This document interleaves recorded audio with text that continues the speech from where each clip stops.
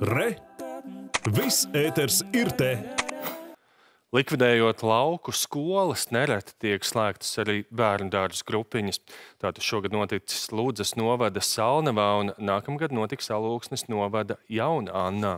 Kam jāgādā par to, lai bērns nokļūtu bērndārzā? Vecākiem vai pašvaldībai? Turpina Dinija Iemeļjānova. 11 bērnu vecāki no Jaunannas puses Alūksnes novadā iestājušies pret bērnu dārzu grupiņas slēgšanu, kas paredzēta nākamgad, likvidējot vietējo pamatskolu.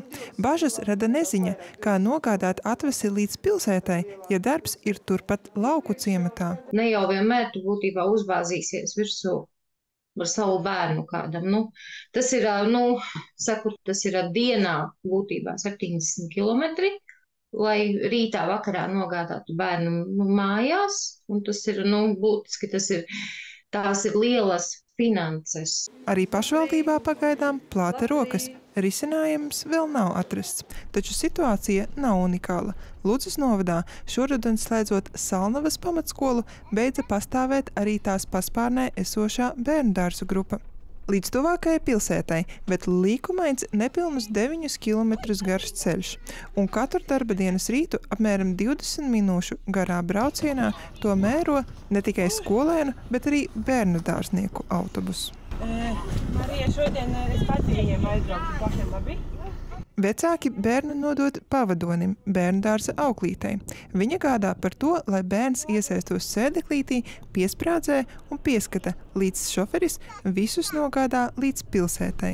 Jā, pieskata, lai viņi neizkrīt. Nu, jāskatās, jā, viņiem jādara par viņiem. Nevar citādi, viņi taču ir mazi bērni nav kā ar lielajiem. Slēgtās skolas darbiniecei pavadoņa pienākums noteikts pieņemot viņu darbā pilsētas bērndārzā. Skolu slēgšana nebūtu neatceļ pašvaldības pienākumus nodrošināt izglītības pakalpojumu pieejamību. Ir arī tādi gadījumi, kā māsiņa vecākā, piemēram, sēdina klēpī savu mazo um, brālīti un ved līdz bērnu dārzam, ja, un tad attiecīgi pat, pati apmeklē mācību iestādi blakus esošo. Nu, daudz un dažādi varianti. Par septiņiem gadiem jaunāks bērns viens pats autobusā. To aizliedz gan bērnu tiesību aizsardzības likums, gan ceļu satiksmes noteikumi. Kam tieši jānodrošina pavadonis pašvaldībai vai vecākiem, gan nav noteikts. Un neviens pieaugušais, kurš kāda veca māmiņa vai omīte vai, vai vecāks vēlas ar savu bērnu pavadīt un, un braukt, viņš netiek izsēdināts, visi tiek vesti. Izglītības un zinātnes ministrijā norāda, ka slēdzot izglītības iestādes, pašvaldības to informē, kā skolēniem tiks nodrošināts transports, ar ko nokļūt līdz jaunajai iestādē.